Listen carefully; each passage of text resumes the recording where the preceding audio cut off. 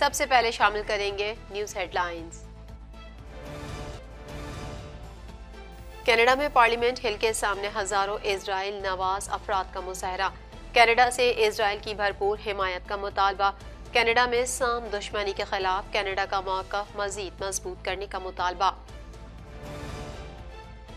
Ontario liberal की तकरीब में चलाई गई जाती वीडियो पर स्पीकर फ्रिगिस ने माफ़ी मांग। ली स्पीकर ग्रेग फ्रिगिस का कहना था कि वीडियो पैगाम ज़ाती ताल्लुक से मुतल था। मुखालफी ने स्पीकर की माफ़ी को नाकाफी करार दे दिया। हांगकांग की सरगर्म सियासी कारकुन अग्निस चू का कनाडा में पना हासिल करने पर गौर। चू का कहना है कि शायद वो कभी भी हांगकांग वापस ना जा सके। मैं आज़ादाना ज़िंदगी गुजारना चाहती हूँ। शुमाली, कोरिया का अमेरिका के कई हसास मकाम की तस्वीर हासिल करने का दावा। शुमाली, कोरिया का ऑपरेशन एक आज़ाद फौजी इंटेलिजेंस तंजीम के तौर पर काम करेगा। हासिल करदा मालूम फौज और दीगर मुतल यूनिट्स को फराहम की जाएँगी। हेडलाइंस आपने जानी और अब शामिल करेंगे खबरों की तफसील। Laundry is no longer a hassle. Just toss an EcoFresh detergent strip into the washer for a convenient, eco-friendly yet powerful wash. Hypoallergenic, safe for sensitive skin. Say no to bulky plastic jugs and bottles. No more measuring and spilling. Just one strip for a load. Simple and squeaky clean. Plastic-free, biodegradable packaging. Organic, paraben, phosphate, dioxane, and cruelty-free. Order now at www.ecofreshcanada.ca or at Amazon. क्या आप Canada की immigration और citizenship लेना चाहते हैं या Canada में study करना चाहते हैं लाइटो इमिग्रेशन न सिर्फ़ आपको कनाडा की इमिग्रेशन और सिटीजनशिप दिलवाने में आपकी मदद कर सकते हैं बल्कि आपको कनाडा में सेटल और इन्वेस्ट करने के रास्ते भी सुझा सकते हैं Lito Immigration is a regulated Canadian immigration consultant. We deal in study, work, PNP, and PR visas, get startup visas, work permit, and business visas. We rise by lifting others. Lito Immigration. Gaza में Hamas के खिलाफ मुल्क के साथ यकजहती का इजहार करने के लिए और कनाडा में साम दुश्मनी के खात्मे का मुतालबा करने के लिए कनाडा भर से हज़ारों इसराइल नवाज़ मुजाहरीन पीर को पार्लियामेंट हिल पर जमा हुए मजीद अहवाल इस रिपोर्ट में। गजा में हमास के खिलाफ मुल्क के साथ यकजहती का इजहार करने के लिए और कनाडा में साम दुश्मनी के खात्मे का मुतालबा करने के लिए कनाडा भर से हज़ारों इसराइल नवाज़ मुजाहरीन पीर को पार्लियामेंट हिल पर जमा हुए। मुजाहरे में मुताद मुकर्रीन ने शिरकत की, जिनमें कनाडा के मुमताज़ यहूदी सियासतदान, मजहबी रहनुमा, गैर यहूदी इतिहादी और कनाडा की यूनिवर्सिटीज़ के तालब इल्म शामिल थे। उन सब की एक ही आवाज़ थी कनाडा को इसराइल के साथ कंधे से कंधा मिलाकर खड़ा होना चाहिए, क्योंकि वो यहूदी रियासत को तबाह करने पर तुले हुए अस्करियत पसंद ग्रुप का मुकाबला कर रहा है। उन सबने हुकूमत की तमाम सतहों पर साम दुश्मनी के खिलाफ अपने मौक़ को सख्त करने पर ज़ोर दिया, जिसमें सात अक्टूबर को हमास के मासूम इसराइली शहरियों पर वहशियाना हमले और उसके नतीजे में फौजी रद्द अमल के बाद से कनाडा में इजाफा हुआ। हालिया हफ्तों में पुलिस की तरफ़ से दर्जन भर नफरत अंगेज जराइम की इतला दी गई। यहूदी कनाडा के मिल्कियती कारोबार बशमूल इंडिगो बॉक्स को मुजाहरीन और मुश्तिल अफराद ने निशाना बनाया और तोड़ फोड़ की। कैनेडियन हाउस ऑफ़ कॉमन्स के स्पीकर ग्रेग फ्रिगिस ने इस ऑन्टेरियो लिबरल पार्टी की क्यादत के कन्वेंशन में चलाए गए एक जाती वीडियो पर अरकान पार्लियामेंट से माफ़ी मांगी है। मजीद जानेंगे इस रिपोर्ट में। कैनेडियन हाउस ऑफ़ कॉमन्स के स्पीकर ग्रेग फ्रिगिस ने इस हफ़्ते के आखिर में ऑनटेरियो लिबरल पार्टी की क्यादत के कन्वेंशन में खराज तहसीन के पैगाम के बारे में चलाए गए एक ज़ाती वीडियो पर अरकान पार्लियामेंट से माफ़ी मांग ली है, लेकिन दो अपोजिशन जमातों का कहना है कि ये काफ़ी नहीं है और अब उनसे इस्तीफ़ा देने का मुतालबा कर रहे हैं कि वो उनका नाकबिल कबूल है।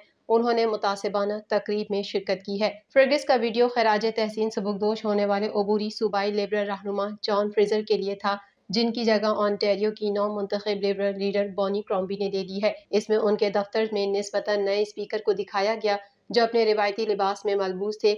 जैसे ही ये मंजर सोशल मीडिया पर आया, कदामत पसंदों ने उसकी मजम्मत करने में जल्दी की। कनाडा के स्पीकर के गैर जानबदार रहने की अहमियत की तरफ़ इशारा किया।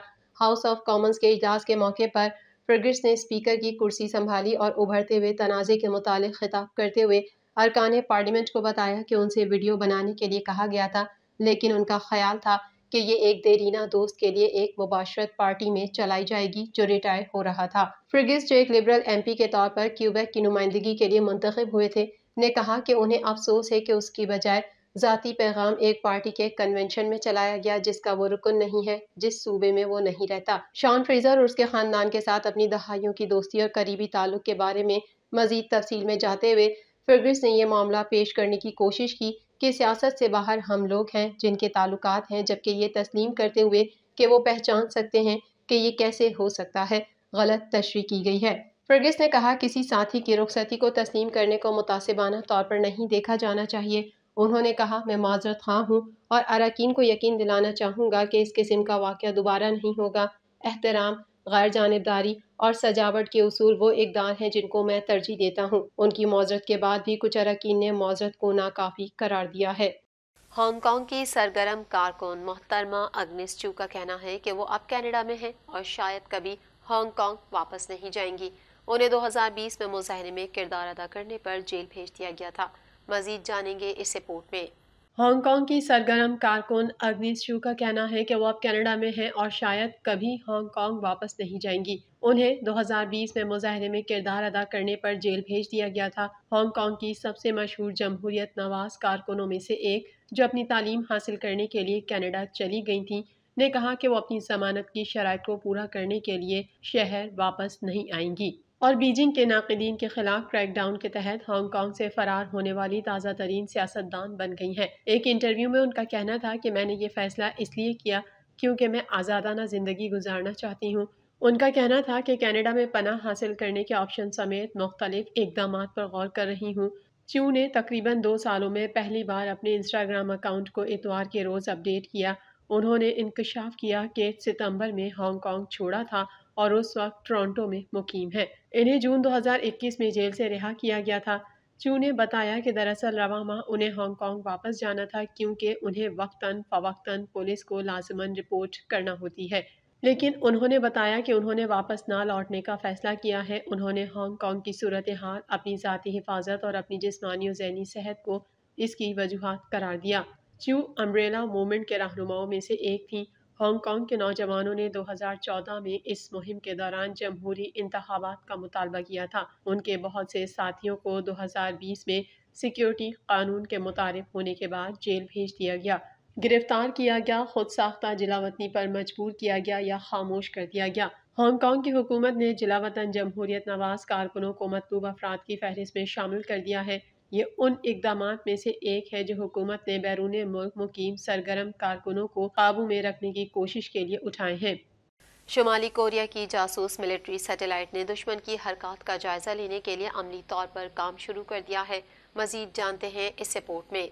शुमाली कोरिया की जासूस मिलिट्री सैटेलाइट ने दुश्मन की हरकत का जायजा लेने के लिए अमली तौर पर काम शुरू कर दिया है। रिपोर्ट के मुताबिक सैटेलाइट के ज़रिए शुमाली कोरिया के जौहरी हथियारों के यूनिट्स को बेहतर और अच्छी तैयारी में मदद मिलेगी। शुमाली कोरिया ने मई और अगस्त के फेल तजर्बात के बाद 21 नवंबर 2023 को जासूस सैटेलाइट, शुमाली कोरिया के सरकारी मीडिया के मुताबिक सैटेलाइट के ज़रिए दुश्मन की हरकत सकनात पर नज़र रखने का ऑपरेशन एक आज़ाद फौजी इंटेलिजेंस तंजीम के तौर पर काम करेगा और हासिल करदा मालूम फ़ौज और दीगर मुतल यूनिट्स को फराहम करेगा। दूसरी जानब, अमरीका, जापान और जनूबी कोरिया ने खला में शुमाली कोरिया की सैटेलाइट के पहुँचने की तस्दीक की तहम, उन ममालिक को सैटेलाइट की सलाहियतों पर शकूक व शुभात हैं। शुमाली कोरिया ने दावा किया है कि सैटेलाइट ने व्हाइट हाउस और पेंटागन समेत कई बड़े हसास अहदाफ की तफसीली तस्वीर भेजी हैं। अमरीका की जानब से जासूस सैटेलाइट में किसी भी किस्म की मदाखलत या हमला जंग तस्वुर किया जाएगा।